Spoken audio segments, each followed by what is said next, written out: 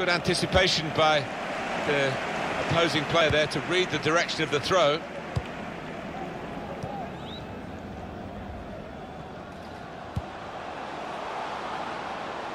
And here's the shot. Over the goalkeeper and in. Brilliant.